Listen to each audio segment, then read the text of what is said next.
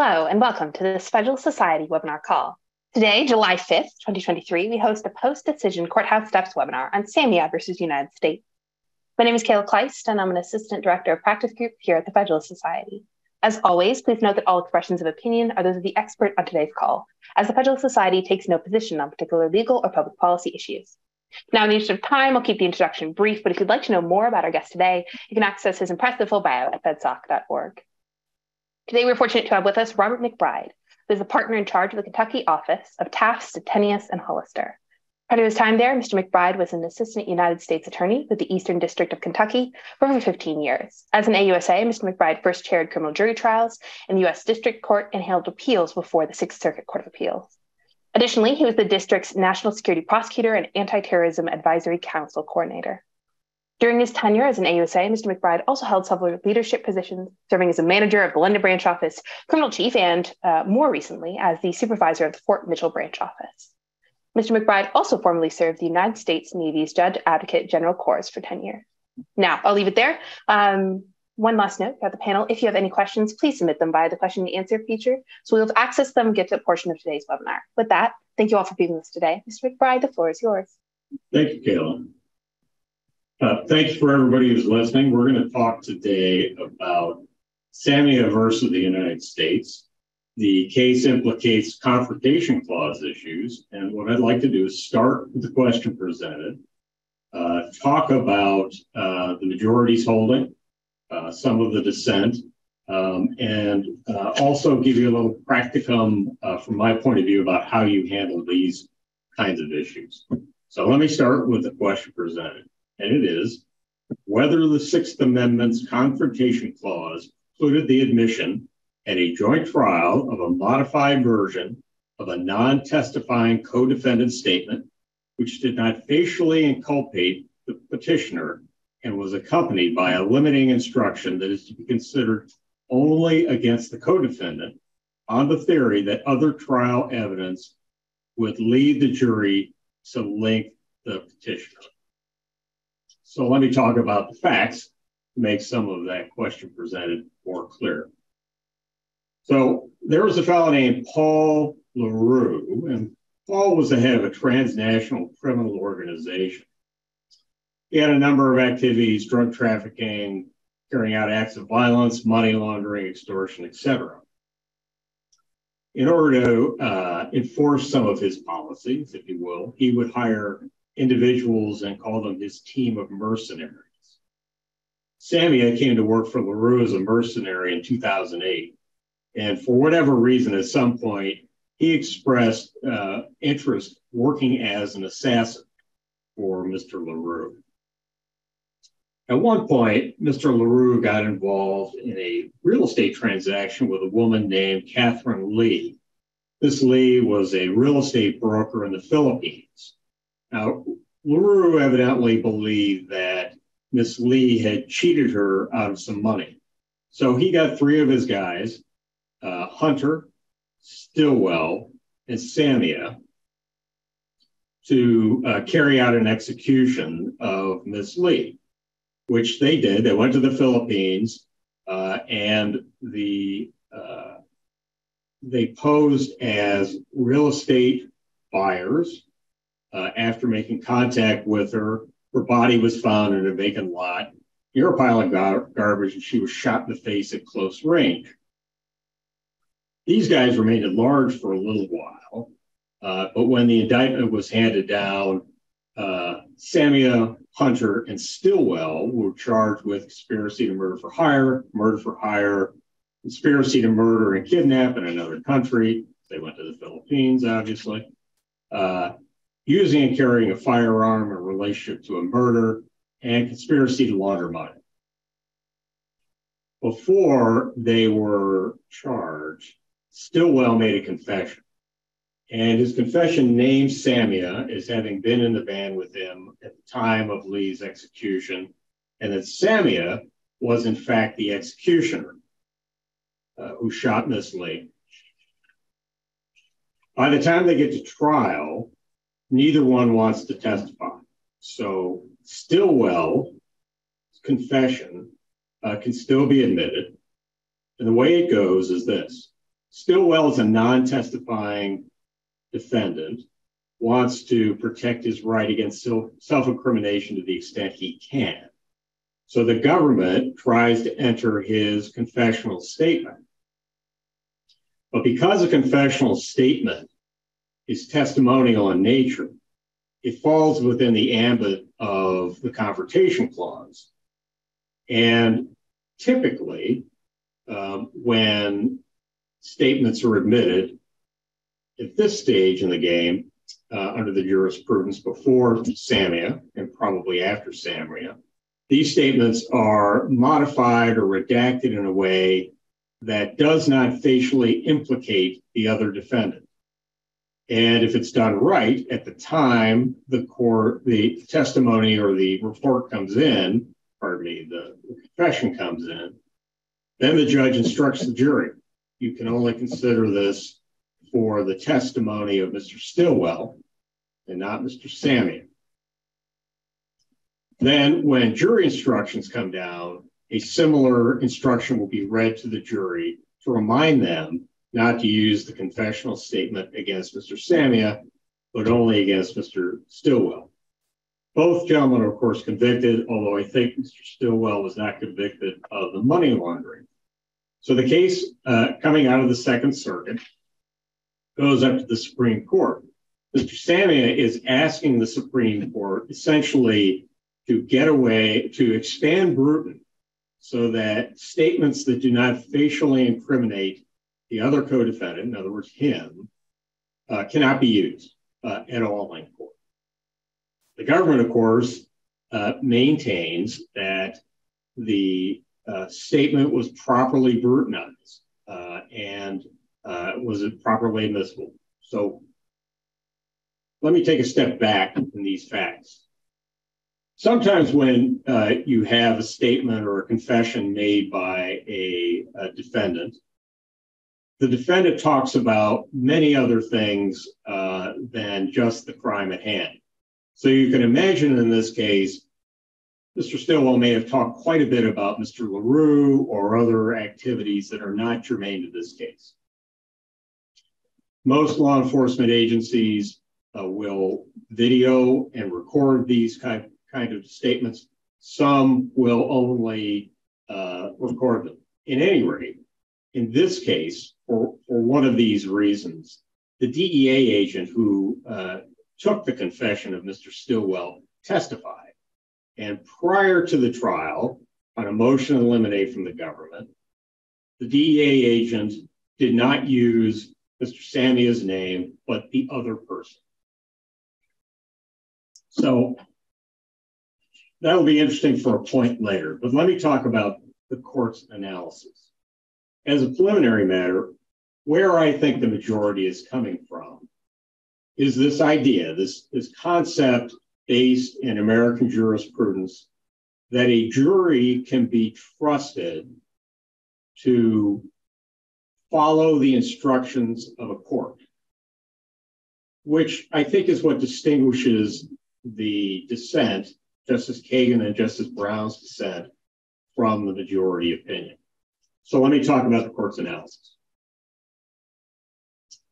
Um, in general, um, when a non when a non-testifying individual's confessional statement is admitted because it is testimonial it falls within the ambit of the confrontation clause. But interestingly, the confrontation clause only applies to witnesses against the accused under Crawford versus Washington, a co-defendant's statement is not considered as against the accused as long as it's properly instructed and that the uh, statement does not facially implicate the other defendant.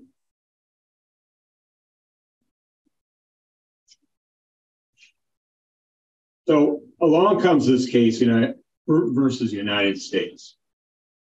And Bruton carves a narrow exception and says essentially, look, we rely on jurors in order to follow instructions and use their common sense with some level of fidelity to the court.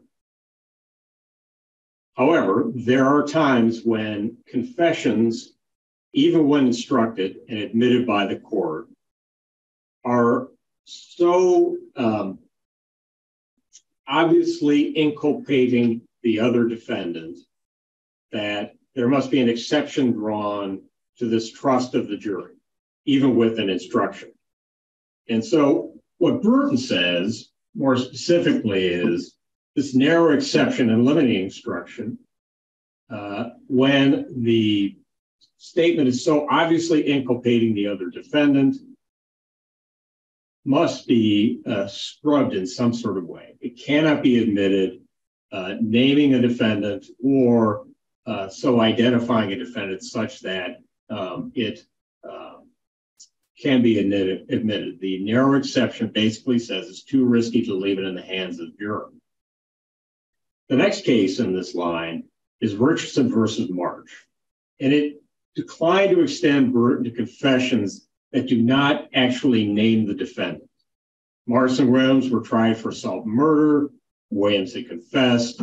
And here the statement was sufficiently Brutonized such that the four corners of the statement did not facially or overwhelmingly implicate the co defendant. The co defendant was linked to the confession and the crime by other evidence that was extrinsic to the four corners of the statement. Gray versus Maryland comes on and it modifies Bruton a little bit. And basically, in, in this case, uh, two fellows, Gray and Van, Van Landingham, were accused of assault and murder. The confession here that was admitted deleted the defendant's name. In fact, used the word deleted instead of the defendant's name. And in this case, the Supreme Court found that, look, you delete the man's name, but there are other accusatory information in this confession that directly points to the defendant. So it falls within the Bruton exception that it must be essentially scrubbed in a way that it doesn't facially implicate the defendant. So in this case, um, it's very similar uh, to, it's more similar to Bruton and Richard and Marsh, uh, Richardson and Marsh than it is to Gray. And so they, the, the court holds essentially that this statement that was admitted uh, and properly instructed by the court, so as it does not implicate Samia, both at the time the statement was admitted to the DEA agent and at the time of instructing the jury, that it did not violate the confrontation clause. So there are two things I, would like to note about this. Um, there's a footnote in the majority opinion that says the court never opined as to whether a rewriting a confession may serve, serve as a proper method of redaction. I think that's interesting for two reasons. One, here we have a DEA agent testifying about the confession as properly instructed by the court based on the government's motion to eliminate. But could that testimony be considered a rewriting of the statement? Because this the testimony is going to of the confession is going to be within the context of the case agent talking about the investigation itself. And second, I think it's an interesting footnote because, as I noted earlier, a lot of these kinds of statements are recorded either verbally or on video and audio. So, how you might rewrite a statement, um, I think what they're trying to imply here is perhaps you're better off playing the video or the recording instead of somebody summarizing or rewriting a statement. Um, that, that implicates a lot of issues as a practical matter, uh, but I think it's a very interesting footnote. I also want to cite my favorite line from the majority opinion, which is either Bruton, Richardson, nor Gray provides a license to fly speck trial transcripts in search of evidence that could give rise to a collateral inference that a defendant was named in an altered confession. That means, to me at least, that the principle that a jury will follow the instructions of the court, such statement on its face does not implicate the defendant, yet goes and discusses the other aspects of the evidence that comes in and arguments uh, is not sufficient to violate the confrontation clause. In other words, you must look at the statement itself for whether it facially uh, inculpates the defendant. The the reason I think this is important also from the history of the case is, and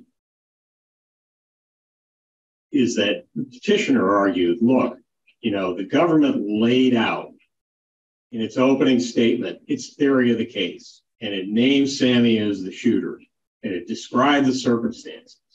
And of course, in the in the mind of the petitioner, well, of course that that linked me. But the interesting thing about that is, is every every trial lawyer knows, opening statements are not evidence, and I think the court expects the jury in that respect to also follow its instructions, noting that opening statements and closing arguments, for that matter, are not evidence.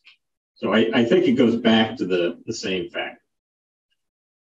Uh, Justice Barrett does join in the majority, but interestingly, um, writes a separate opinion about the historical aspects of the court's decision.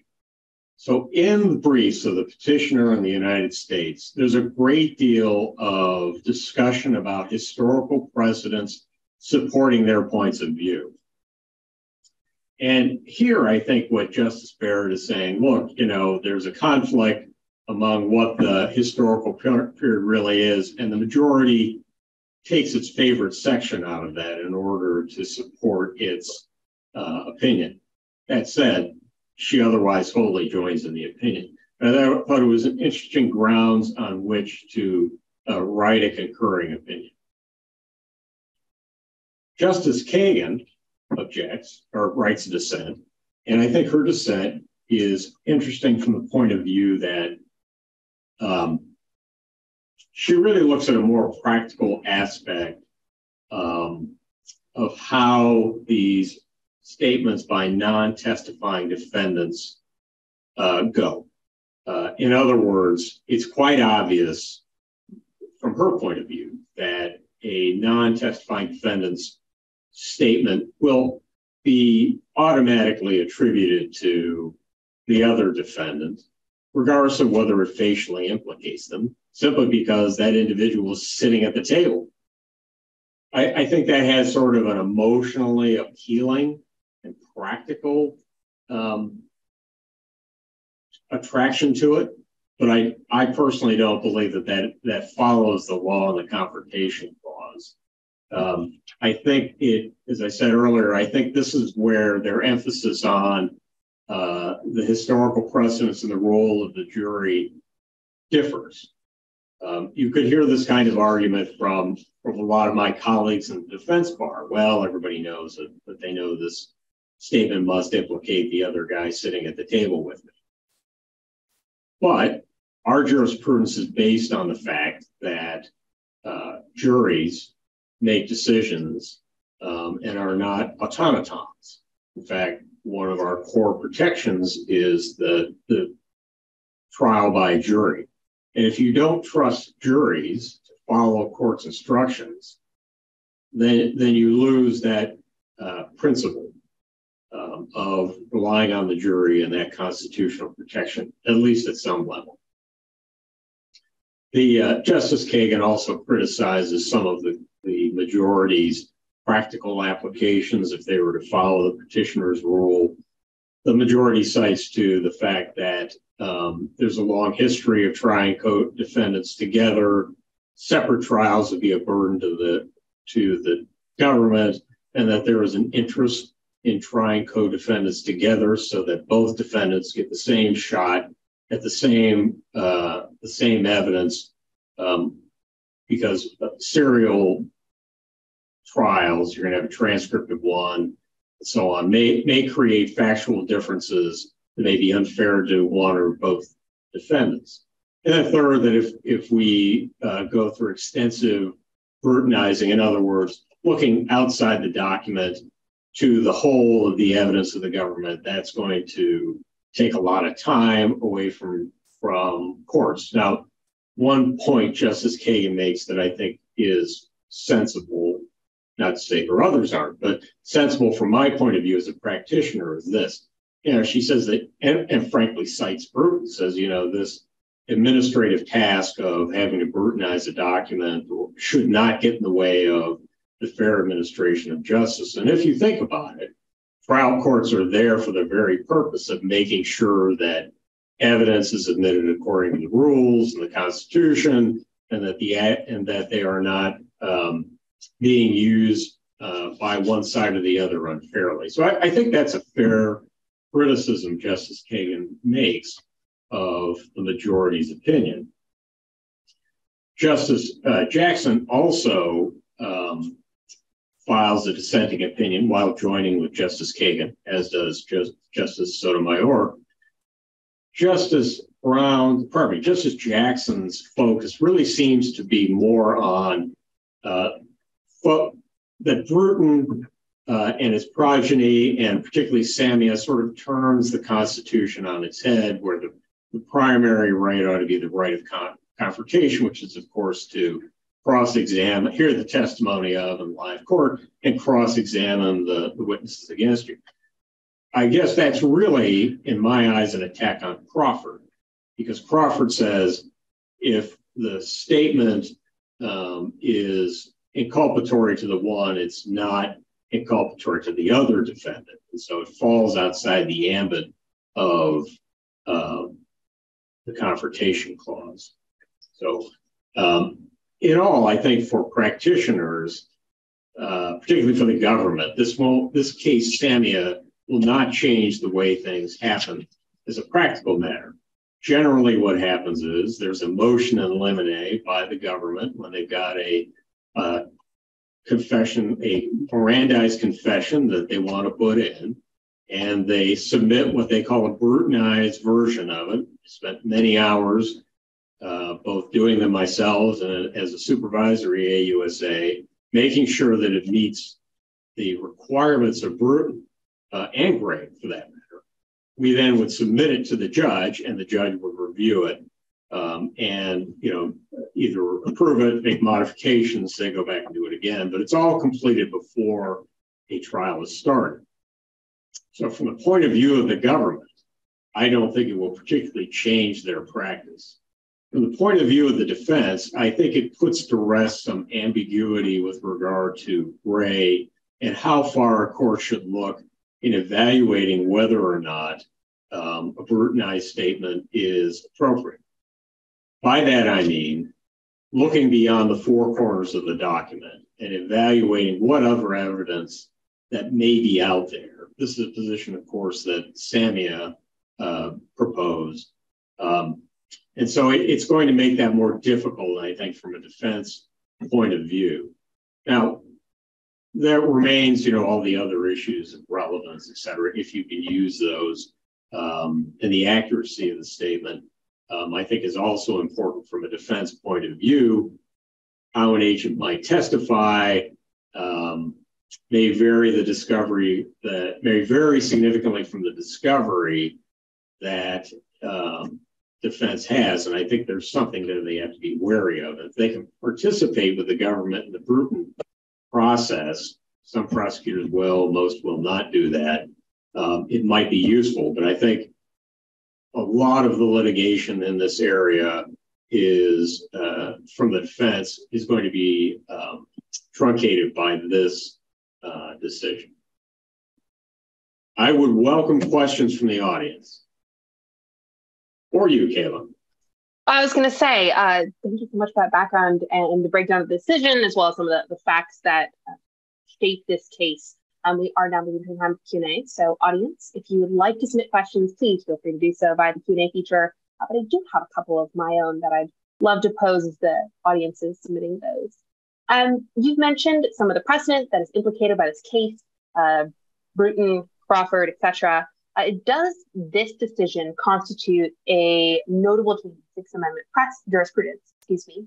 And if so, what cases does it undermine, overturn, or uh, bring to the fore?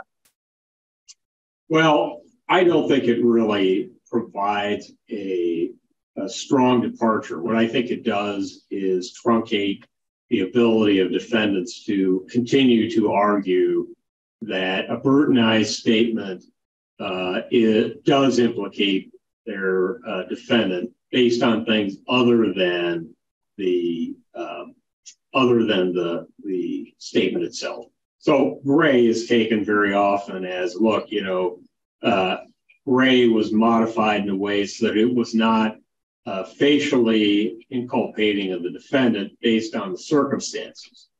So I, I do think that Gray has not been overturned, but I think the focus now has to be on the content of the document, not so much whatever else is out there. So I still think the defendants have to be very leery about how the statement is structured and whether within the four corners of the document, the statement is going to be inculpatory or overly inculpatory of the not of the other co-defendant.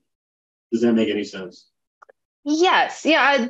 Following up on this and sort of the effect this case may have, um, does the fact that it's a split opinion, so it's 6 3, but it's five who joined fully, and then Justice Barrett who joined almost fully, um, have any, does the fact it's split in that way have any effect on the way those arguments will be treated moving forward, or possibly have any effect on those arguments will be treated moving forward? Or does the fact that five justices, a true majority, agreed to this uh, opinion perhaps solidify and clarify that this is um, the the keystone on which arguments moving forward should be built. Well, I don't think as far as you know the weight of the opinion, Justice Barrett's my personal opinion is Justice Barrett's um, opinion does not undermine the, the, precedent of the case. It simply um, questions sort of the historical precedent um, on which the court relies is sort of, in my view, sort of cherry picking that. But I don't think that that really changes uh, too much about the jurisprudence. I think I think that it's a it's a bit cautionary about let's make sure that what we're relying on is complete because there was always conflicting information in, in the original uh, in the original record, if you were the historical record. So I don't think that, that undermines it. Um, you know, both Justice uh, Kagan and Justice Jackson explicitly stated they think that this is uh, one step in the majority's rolling back of Bruton, um, so that confessional statements that actually name uh, the other uh, co-defendant will be uh, admissible under the Confrontation Clause and Crawford. Um, the, the hypotheticals that Justice Kagan uses uh, in her opinion, I think set forth a way in which defendants could continue to challenge Bruton.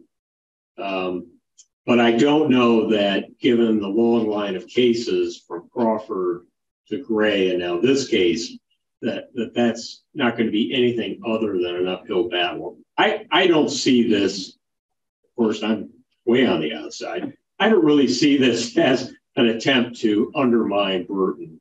What I see it as is, is a logical and practical application of the of the jurisprudence that's come along in this area.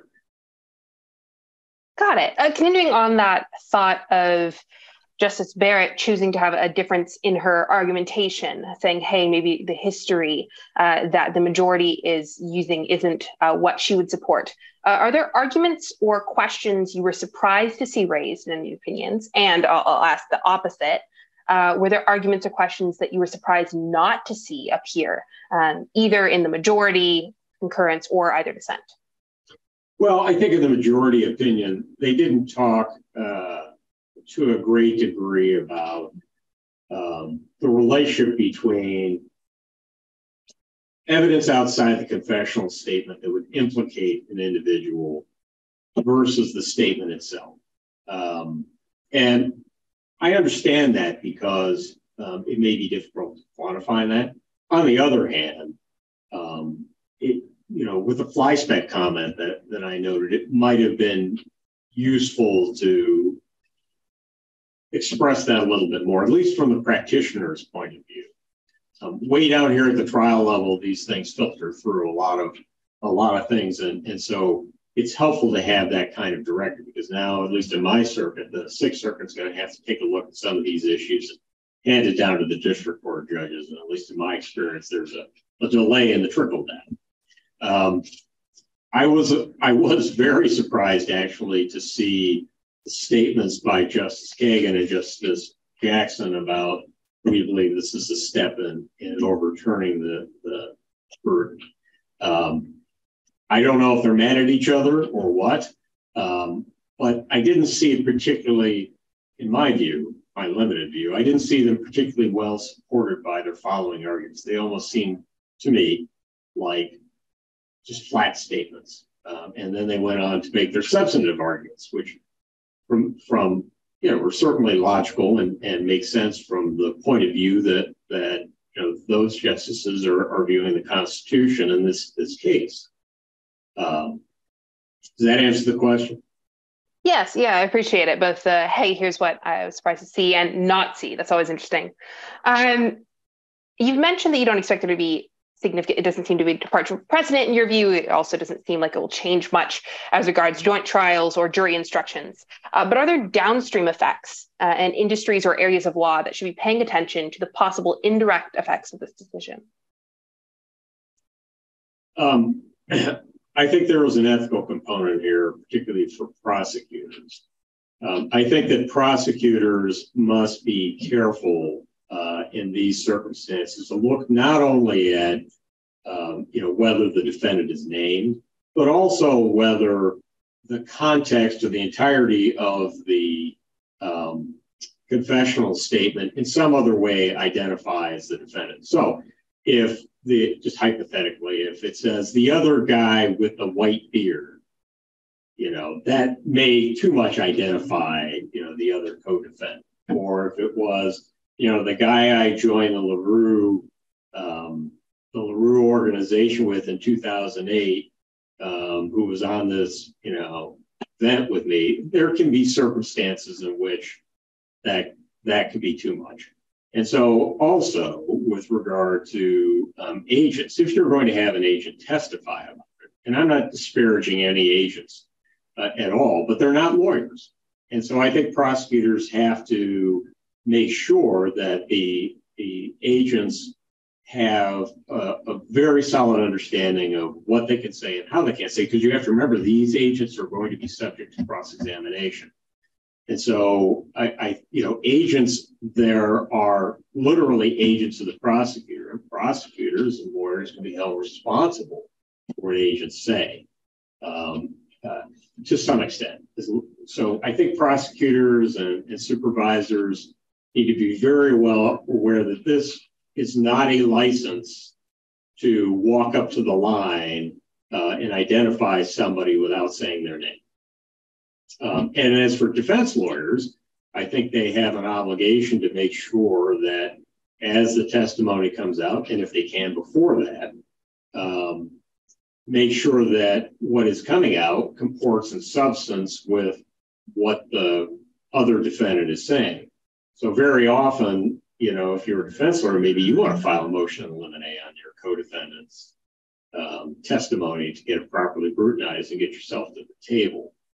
Um, for you know people who are um, I, I, mean this can cover all kinds of uh, subject matter areas. You can see it arising in crimes involving businesses crimes involving overseas businesses i mean functionally Le Roux is running a business it just happened to be criminal so you also see how you know the reach of the federal government um, is really worldwide so I, I think there are ethical issues here. I think there are practical issues. I think the more co-defendants you have at the table, maybe the easier it is to Brutonize a statement. If you've just got two co-defendants, you know, that could implicate, you know, something more. Got it. Well, on that note, and as the last question, barring any from our audience, uh, now we have the decision, you've mentioned that there are, are questions that may remain as it trickles down. Uh, what are those questions that remain unanswered post uh, Samia? Well, I, I, think that the question is whether or not uh, judges have fully embraced SAMIA and whether defense counsel have fully embraced SAMIA. I mean, it's a very practical, from a trial lawyer's point of view, it's a very practical evolution. You know, the statement is made, it has to be scrutinized in an appropriate way. And the mechanics of that is, is particular sometimes to a judge, but clearly through generally emotion and limiting.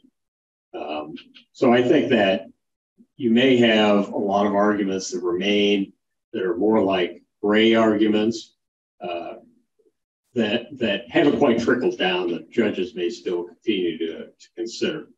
I'm not saying they shouldn't. I'm just saying that it'll be. I think it'll become less frequent over time.